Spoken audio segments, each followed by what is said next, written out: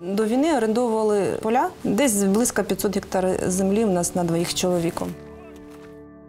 Він і я приватні підприємці, тому у нас такий приватний бізнес, домашній сімейний.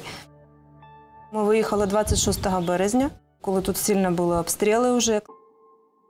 Ну, где ты надо, где ты надо? Ты нигде не надо, да, только дома у себя. Закрываешь глаза, лягаешь в чужой хате, думаешь, представляешь, что ты у себя в хате. Откроешь глаза, и и это все был сон, и, и ты сейчас будешь у себя дома. Ні, відкрив, ти не дома.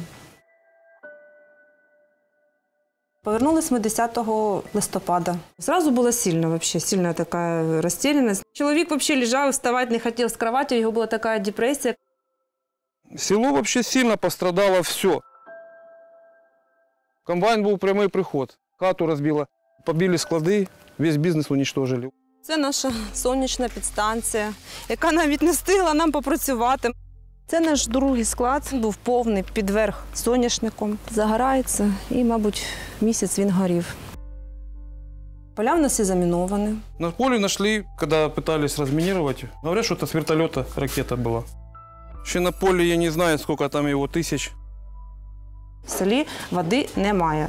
У нас люди що до війни приходили, постійно брали воду. І приходять люди, і зараз поставили очко, там краніки, і люди приходять, набирають там воду.